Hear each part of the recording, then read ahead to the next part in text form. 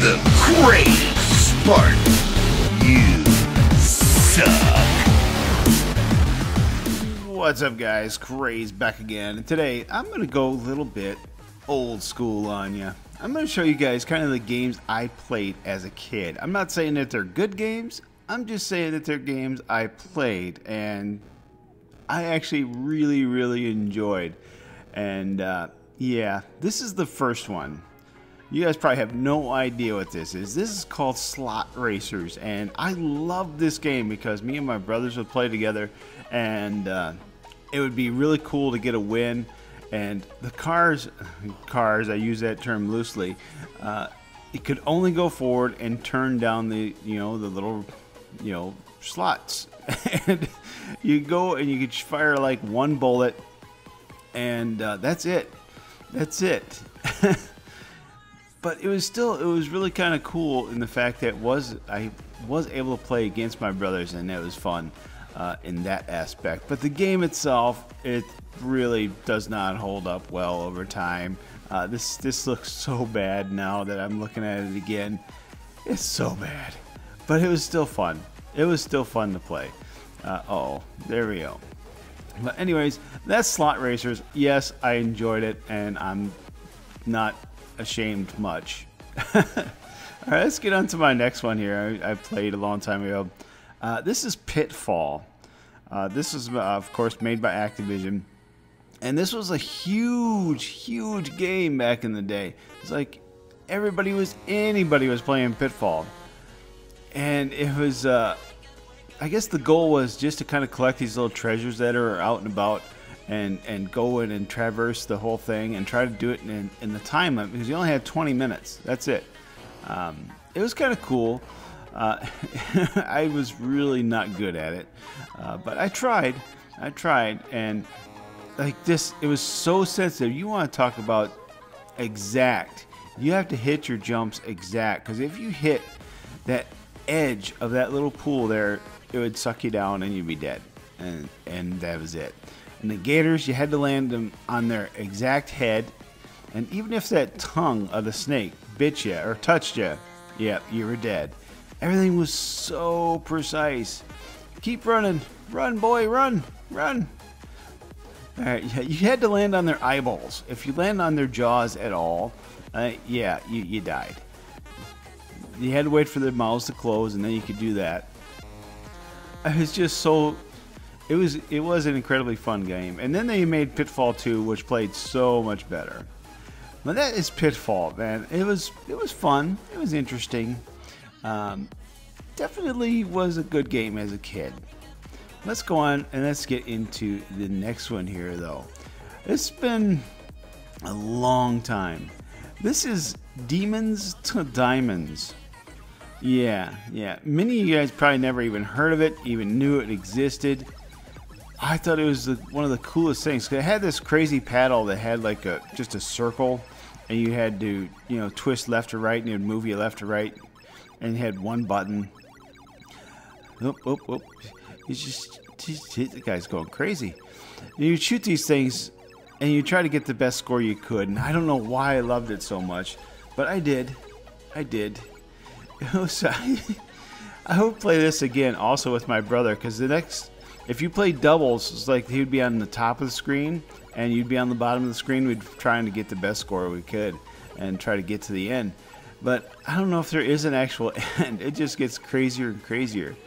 A lot of the old games, they didn't have a, a, a true ending or uh, anything like that. It was just like a kill screen where you just got so many points, which I never ever achieved, or you got, uh, you know, you got dead, which I did that I, I achieved that. I achieved that a lot. Look at these graphics, though. Look at these demons, man.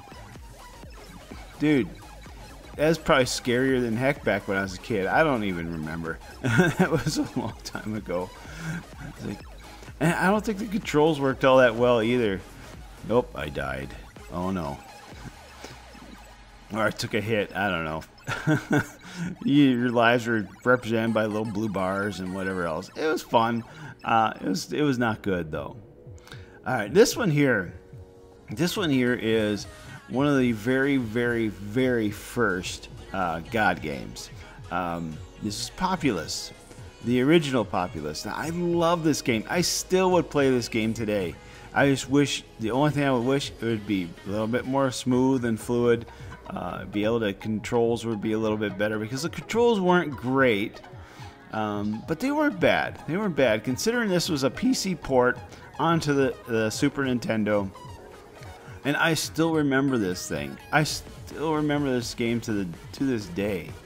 I had the strategies of uh, see the one with the little cross in, in his house. He was the leader. I could kind of tell him where to go and what to do, and I would take him and I would uh, actually tell him to go into the other enemy, into the enemy's area, and fight like a, a small little house, like you see here. Because the small houses, you could fight them a lot easier than the bigger houses, and you had a better chance of winning. Uh, so I'd have him fight in a small house in the enemy's encampment. So it's just like a little bit of seed in the enemy's area, and then it would start growing. And now I tell all the people as they spawned to start going uh, eh, to the uh, to the, the the leader's house, and they would go all the way across the map, and they would uh, uh go into the leader's house, make the leader stronger, uh, which is kind of cool. And then I would tell the leader just to go out and start fighting, or I'd turn him into a knight, and uh, that was kind of cool. Now the fun thing about this is as you leveled up, the the worlds got different. This one's here is just more of a regular plain uh, earthly type of world, but there you got alien worlds, digital worlds. I I can remember you turned. Uh, one of the knight forms you you turn your leader into. I think one of them was a Game Boy. Uh, it was really kind of cool in that way. Uh, really fun game. I loved it. There was multiple sequels. I would love to see a game like this come out today. Uh, I would really, really would. Uh, just sit there and play, and I would play for hours. I would play for hours. In the summertime, I think we bought it and rented it or something, and I literally played for like hours. My brothers were like, man, let's go outside and play, but nah, that's me. All right, this one here. This one is Life Force. This was like one of the more action type uh, thing here. This was so unique back in the day because you had these little ball things, multiples is what they called them. You get them, you get stronger, you get different weapons. Uh, that was really cool. Uh, it had some really good boss battles. This was an arcade. Uh, this was like top of the line stuff back then. And I absolutely loved it. Uh, it did come out for the Super Nintendo, I believe. I believe it did. And it was kind of cool. You could customize your ship in certain ways and and how the little ball things would follow you and which was really cool, man. You couldn't do that before, but now you now it's uh, like you know pretty typical as you can customize so much stuff. But back then, not so much.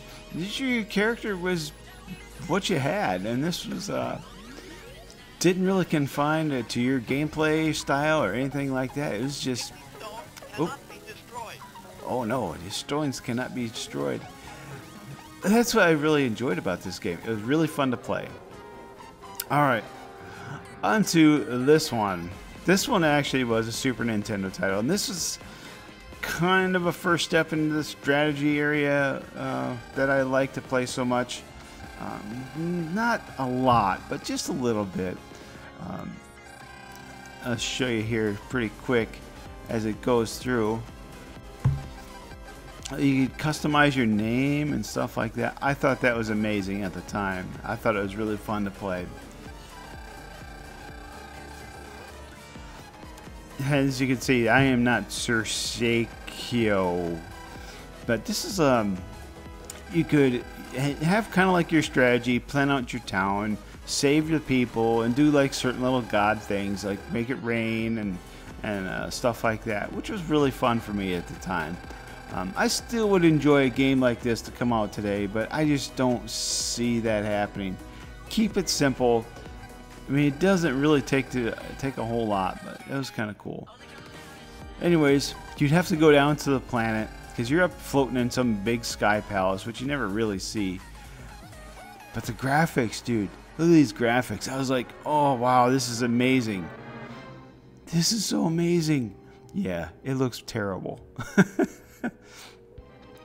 Even right here, you got to remember back then, this was actually really good. Uh, the, coming from the 8-bit area, this looks so good. You're looking like, wow, look at all the colors and, and the, the back screen actually moves separately from the front and uh, the music wasn't wasn't too bad. I mean, it's not great music, but uh, it wasn't too bad. It was actually kind of fun because uh, you got to remember, man, back at 8-bit, it was pretty simple. Just a lot of beeps and whatnot back then. But I played this uh, for quite some time, and I actually beat it uh, a, a, couple times. I think I got it later on an emulator at some point, but it was actually really fun to play. I really enjoyed it. Uh, definitely one of my favorite games as a kid. But I want to show one last game that I think you might actually recognize. Maybe. Maybe. But we'll see. Alright, here we go. Final Fantasy 2. Believe it or not, yeah. This was my very, very, very first RPG. I didn't even know what an RPG was.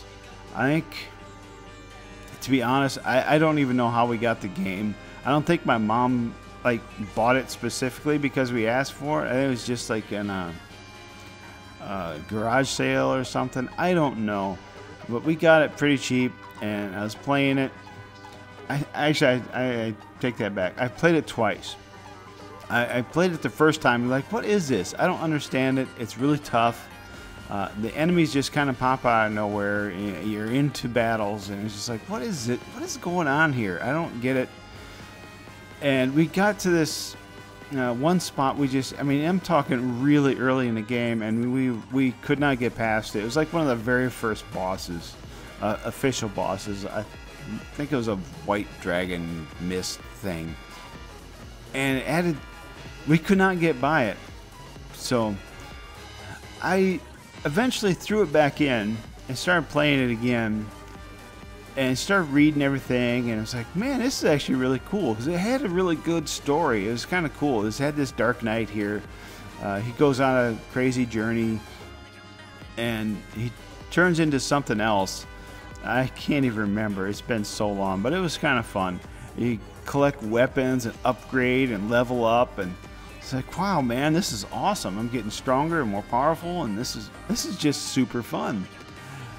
And the characters themselves, I mean, granted, if you look at the text, it's not all that complex. Uh, the story itself, it was not all that amazing, but uh, it was to me, especially at the time. I thought it was fantastic, and I still still miss RPGs like this. Uh, the newer Final Fantasies, I don't care for. I don't like the style of them. I much prefer this. Granted, I would love to see a Final Fantasy VII remake. I love that style.